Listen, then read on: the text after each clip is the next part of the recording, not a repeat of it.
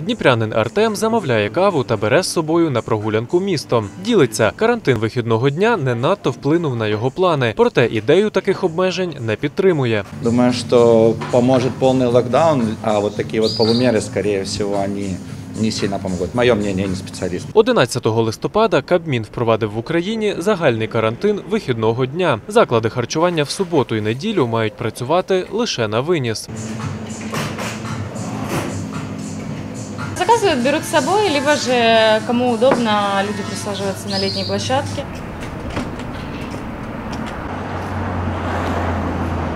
Людей достатньо, вони е, розуміють е, нинішню ситуацію, але ми е, здатні зробити будь-які умови для комфорту і тому пропонуємо теплі ковдри. Якщо нам як мінімум е, дозволено працювати на вині е, на to go, то це вже добре.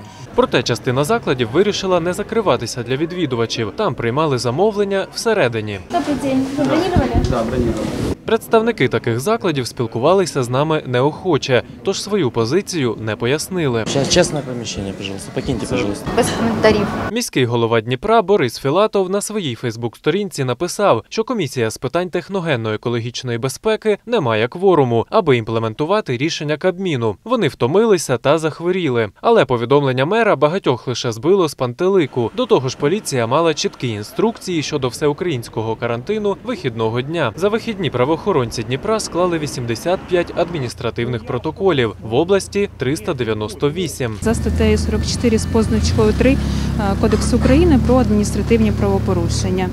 Е, Санкція даної статті передбачає покарання у вигляді штрафу е, для громадян від 17 до 34 тисяч гривень та для посадових осіб від е, 34 до 170 тисяч е, гривень. Адвокат Станіслав Ліфлянчик розповідає, деяких підприємців штрафували навіть якщо у закладі не було відвідувачів, а лише персонал. Находились реально там персонал, находилось, находились люди, которые там проводили какую-то там рабочую, рабочее совещание, э, ну то есть там убирали, там приводили в порядок помещение и тому подобное. То есть реально там прием не вели и тому подобное.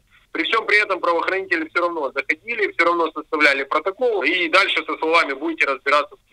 Ресторан вихідного дня. Винахідливі підприємці Дніпра висловилися у такий спосіб: розставили столи та стільці просто неба, де й пригощали своїх гостей. Діляться в карантинних умовах підприємцям дуже складно, тож хочуть достукатися до влади. Рестораторы повыносили свою еду, повыходили, приглашаем всех людей, приходите, покушайте, поддержите нашу акцию. Владислав Яценко, Олександр Височин, Ілля Ломовський. Новини 9 каналу.